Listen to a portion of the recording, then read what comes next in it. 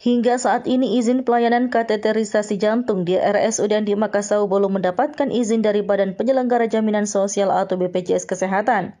Hal tersebut diungkapkan langsung Dewan Pengawas Rumah Sakit Umum Daerah Andi Makassau Kota Parepare yang ditemui beberapa waktu lalu.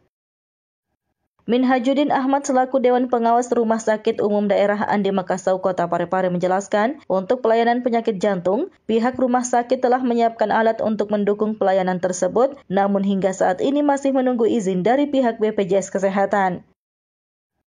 Minhajuddin Ahmad menilai perjalanan Parepare ke Makassar untuk pasien jantung dapat memicu kerawanan terhadap pasien, oleh sebab itu Minhajuddin berharap agar pelayanan kateterisasi jantung bisa segera terlayani di Rumah Sakit Andi Makassau tanpa perlu melakukan perjalanan jauh untuk mendapatkan tindakan. Belum ada izin.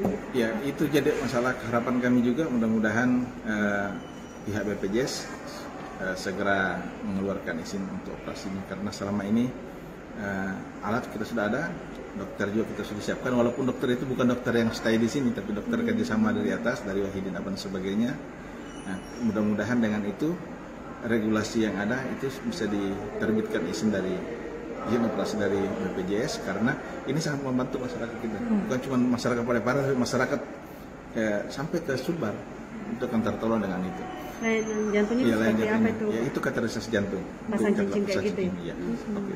Oke, ini salah satu pengembangan oh, pengembangan layanan di Kota Parepare.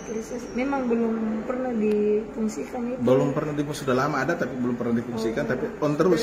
Iya. iya, makanya sementara ini kami hanya pakai untuk eh, sekedar untuk beda vaskular itu. Oh. Nah, upaya komunikasi tak dengan BPJS ini bagaimana? Intens komunikasi pihak direksi komunikasi ke BPJS itu. Apa yang menjadi kendala Pak? Kendalanya dia mempersyaratkan harus ada dokter yang stay di sini. Oh. Sementara sementara dokter kita ini kita sementara dokter yang ada spesialis untuk itu itu terbatas. Hmm.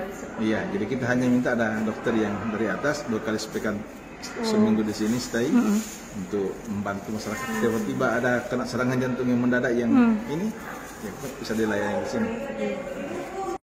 Sri Ayu, TV Peduli mengabarkan.